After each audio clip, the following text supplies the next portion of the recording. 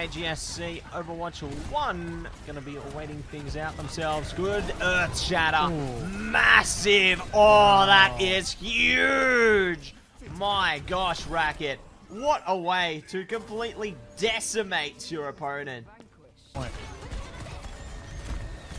Yeah, we'll see what they are going to be able to bring out of this one. Good teleportation there. Going to be able to get them out of the fight with a little bit of time to spare. KGSC Overwatch 1 though. So, so close to taking the initial percentage here, but Grace Esports, they do manage to get there in the nick of time. Disappear. Houdini, you might call them. Who knows? But ult's going to come out now. Ooh, I do find at least uh, one thing, the immortality field.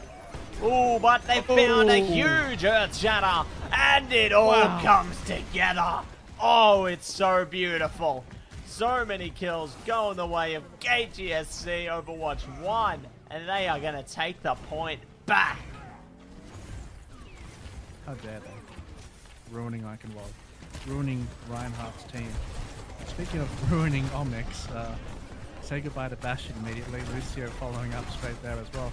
Could be one of those situations where the very first point of Eichenwald actually gets demolished, which is uh, quite the play. Four, Racket, it's time. A lot of ornaments being used here indeed, I mean, especially with the Sound Barrier trying to make sure that everyone is topped up and the situation is absolute chaos ensuing onto the point. Folks want to make sure that this is locked inside of the bag. This is the opportunity for KGSC to secure their win. Grace Esports, they are not holding any prisoners in this situation. Pushing right to the end there. Oh my word. Oh, the Death Blossom. Oh. It got cleansed though, but they're contesting. Oh, this is massive. They're behind all of them, Racket. This is perfect from Tom.